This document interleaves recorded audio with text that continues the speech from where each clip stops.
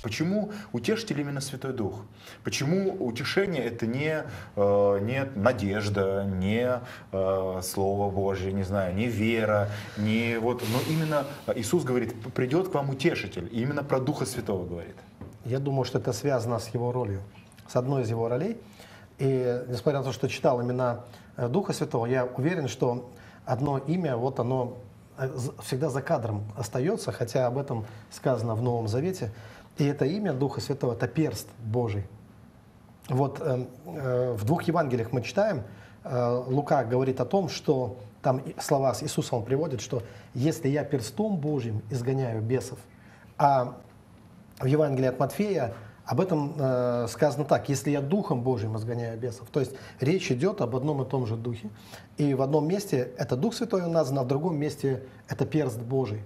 Так вот, одна из ролей, как, и, кстати, Виктория как раз говорила об этом, кто творил, э, кто все, кто все вот эту деятельную работу совершал. Мне очень хотелось сказать эту фразу, я сейчас ее скажу, просто очень хотелось.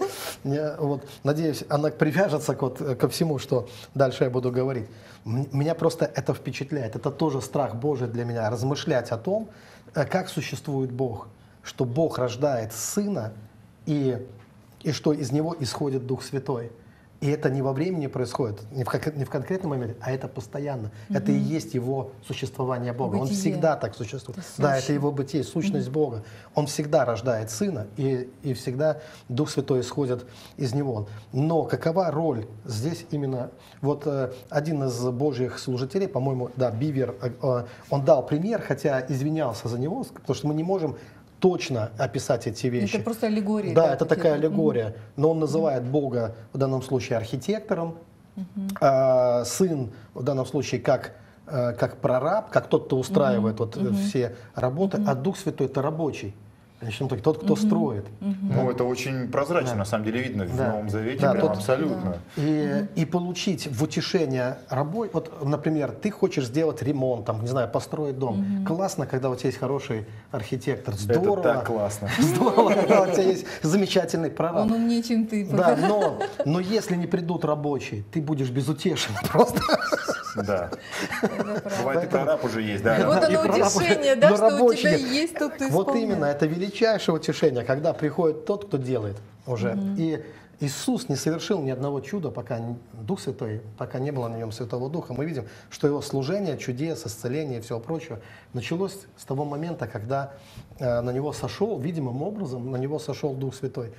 И мы видим, как, какую работу Дух Святой проводит в деяниях апостолов. Через там, каждое предложение про Дух Святой, Он кого-то куда-то посылает, э, кого-то на служение э, определяет, как, не пускает Павла О, в какое-то место, мысль. наоборот. Да. То есть мы видим, как начинается мощная работа Святого Духа, и все водимые Духом Божьим, сказано, суть дети Божьи. Да? То есть мы видим, что это вот Дух Святой это не просто личность, но деятельная личность, которая приносит конкретные вот эти вещи, обетования в жизнь, которые приносят. Земля была безвидна и пуста, но Дух Божий носился над водой, и что-то начало появляться. Но он чертеж рисовал.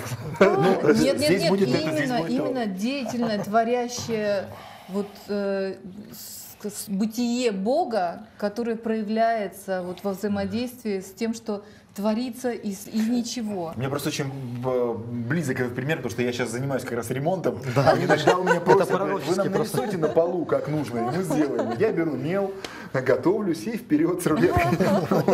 Ну, спасибо, пастор Андрей, что вы так ну, расширили понимание утешения, потому что вот для меня оно в первую очередь, конечно, звучало просто как одна из действительно функций Бога, да, то есть Он может тебя подтолкнуть, а, может погладить по головке, может приобнять, да, больше так, не, не в смысле, который сейчас э, как бы расширил пастор Андрей, э, предложив э, понимание утешения как тот, кто как бы исполняет поручение и имеет всю силу, чтобы его исполнить. То есть утешение не только в какой-то ну, вот, конкретной ситуации утраты, да, а утешение в том, когда ты стоишь там, перед выбором, ты стоишь в сложной ситуации, там, тебе бросили вызов, ты не знаешь, что делать, ты растерян. И есть утешение, что есть сила совершить это, есть тот, кто за тебя, и он расширяет твои возможности и твои ресурсы. Он с тобой. В этом утешение в любой ситуации, не только в самом там страшном горе, понимаешь? Об этом мы сейчас поговорим. Друзья мои, я просто хочу напомнить нашим зрителям, которые, возможно, присоединились только сейчас к нам, или кто смотрит и просто завис совсем с открытым ртом, а, слушает и смотрит на нас. Друзья мои, у нас есть вопрос для вас также. Делитесь, пожалуйста, пишите вопрос такой, как Дух Святой утешает через других людей. Поделитесь а, вашей историей, поделитесь вашим свидетельством или вашим опытом жизни, как происходило а, у вас. Скажите, а каким образом утешает Святой Дух? Я объясню, э, объясню, в чем вопрос сейчас. Да. Просто, опять-таки, множество христиан, они это знают, они угу. это понимают, но не, но не каждый ну, пережил это. Не, не, они вроде читают, вроде должно быть, а как-то вроде особо и не утешаешься. И во всем ли может утешить Святой Дух? Я думаю, да. да. Он же Бог. Он может, он может все невозможно человеком, возможно Богу. А, мне нравится книга Иова. Я ее много раз перечитал, причем э, сначала я читал с серьезным выражением лица, там, потом очень серьезным, потом совершенно серьезным, а потом уже начал смеяться, когда начало что-то доходить. И мы видим, какое было утешение для Иова. Мы ведь знаем, что он все потерял, все было потеряно.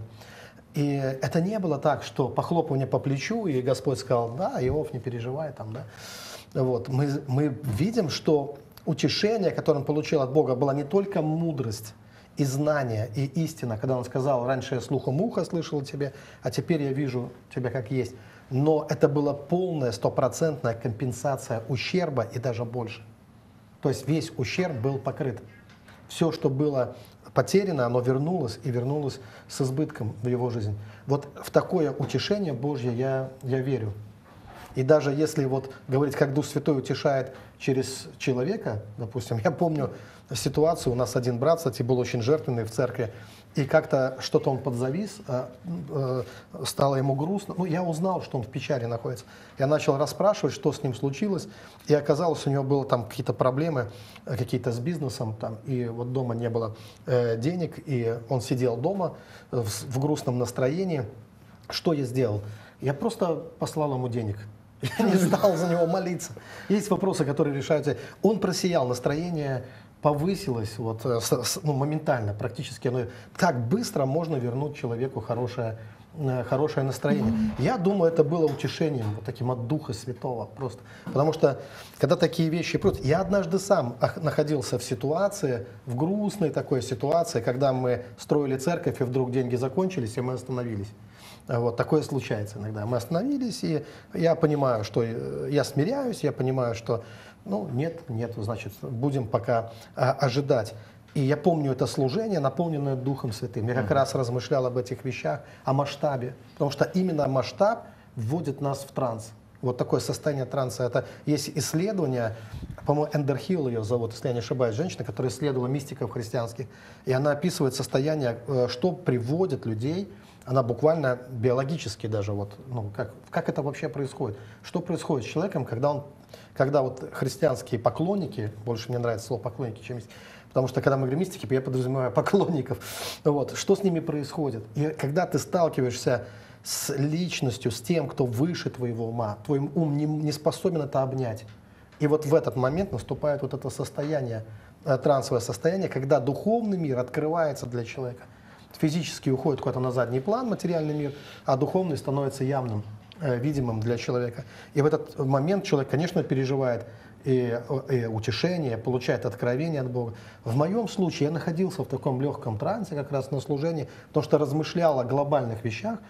Вот. Но к концу служения оказалось, что один человек, один пастор – Э, пытался мне дозвониться там с Норильска, вот как он про себя сам говорит, что у него в церкви там три дровосека всего лишь, небольшая церковь.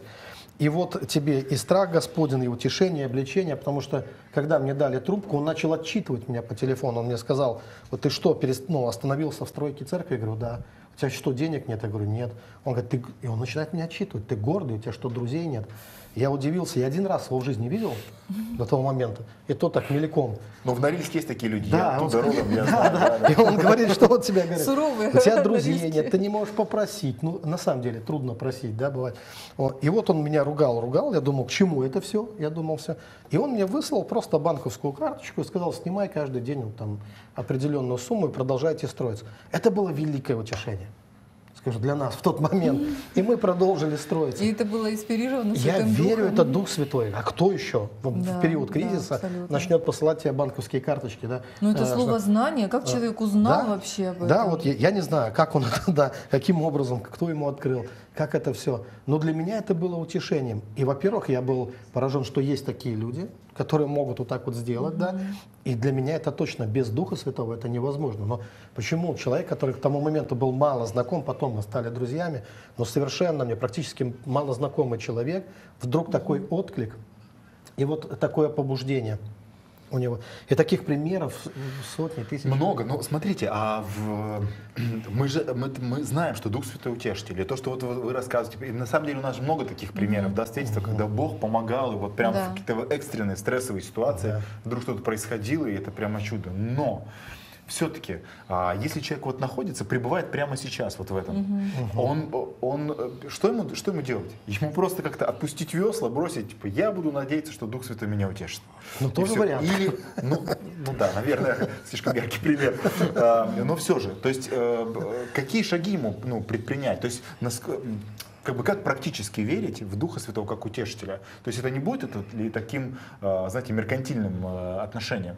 Что как бы, что бы я ни жил, как бы я ни делал, ну, я знаю, Дух Святой меня утешит. Он, как бы, если что, Нет, тут ну, подчистит, тут подправит. Тут вот смотри, мы начали как раз о том, что Дух Святой и вообще общение с Богом, оно сопряжено с э, благоговением с Богом. И с другой стороны, оно связано с э, таким приятным опытом, я бы сказала, с впечатляющим опытом, а, когда ты обращаешься к Богу и получаешь ответы. Поэтому, а, конечно, оно так вот, ну, с бухты-барахты, вот утешение Святым Духом, оно не происходит. Оно происходит, когда есть, как бы, душ, вот а, в псалмах вам сказано, да, что «я воззвал из глубины рва, из тенистого болота, я воззвал». Ну, куда ты возвал, да? То есть есть сказано, что есть печаль ради мира, и есть печаль, и это печаль к смерти. Что это значит печаль ради мира? Когда ты печалишься, что то, что, чем обладают люди в мире, и такие страстные помыслы, такие, ну, как бы низменные помыслы, что они у тебя не осуществились, тебе не удалось вот пройти этим путем, э, как бы испить ту чашу до дна. А есть печаль ради Бога. И, я- и вот эта печаль, когда есть у тебя взаимоотношения с Богом, понимаешь, что ты не соответствуешь чем-то, облажался, там что-то такое сделал. И вот в этой печали очень сильно помогает Дух Святой, в печали ради Бога. И опять же, то есть, ну, как бы понятно, что у нас есть и третья, как бы, э, печаль, когда мы действительно кого-то теряем дорогого. И а, ну, я, я на самом деле тоже спрашиваю людей, как они проходят потери, потому что очень много разных людей. Мне было, может быть, в чем-то проще, потому что, ну, вообще наш брак состоялся тоже по водительству Божьему. Я просто видела Бога и просила, чтобы Он был между нами, с нами. И мы были как бы семьей, мы были, ну, по Писанию одним человеком, но мы были тоже двумя личностями. И у меня были взаимоотношения с Богом, поэтому Бог меня утешал и поддерживал. Все вот Его драгоценные слова, все Его обетования, Его присутствие и послание через других людей, знающих Бога, они все утешали меня. У меня был вот этот доступ, я знала, как на него опереться.